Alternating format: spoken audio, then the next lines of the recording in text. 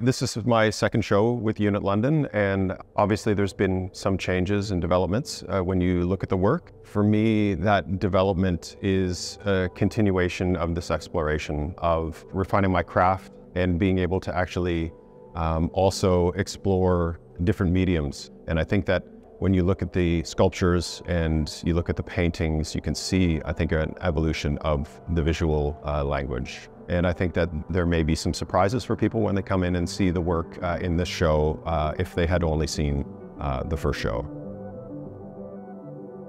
So when you look at my work, uh, like the piece right here behind me, Lucas, I think that it is this sort of uh, mashup combination of the old masters, uh, sort of had this very kind of Caravaggio style lighting. And at the same time, it's introducing that historical reference into something that's much more kind of here and now, which you could even say has this kind of avatar feel to it, which is something I think that we're all extremely familiar with because it like, you know, we spend so much time on our phones and social media and whatnot, like avatars, we all have one, right?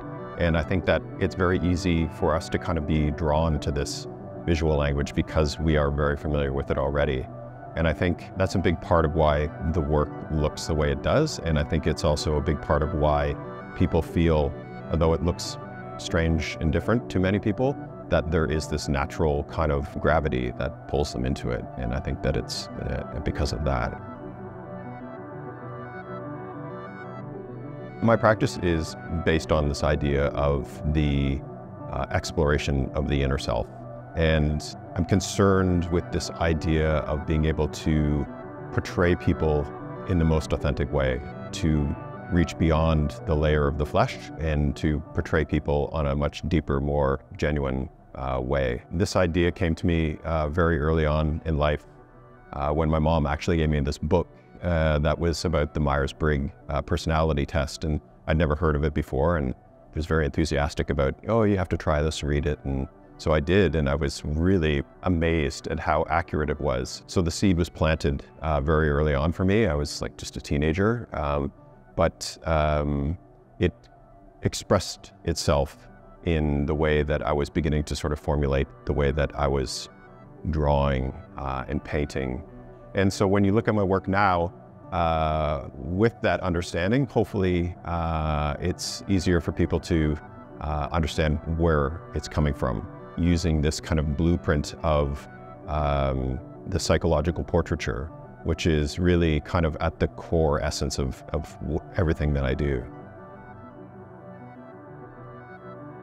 All of my sitters are people that are in the sphere of my existence, uh, people who are uh, either friends or family, or maybe there's someone who has influenced me in some way could be a, a, musician that I've never met. Music is a very big part of uh, my practice when I'm in the studio. I really draw upon uh, that energy and use it uh, to sort of uh, energize and invigorate my work.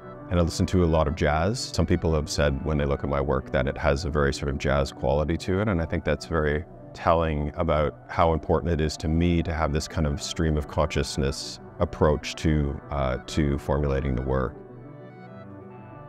And in terms of like selecting the people uh, that I portray, I would actually say that it's more about like they select themselves than I am just kind of channeling that feeling about that person. You know, in terms of my, my process, when I'm working on anything, whether it's a sculpture or uh, a painting, it always begins uh, with uh, the pencil and paper, using Photoshop to add a little bit of color, to get a sense of, uh, of more feeling and give it uh, uh, more emotion. From there, I go straight to the canvas and I express that in a more concrete way.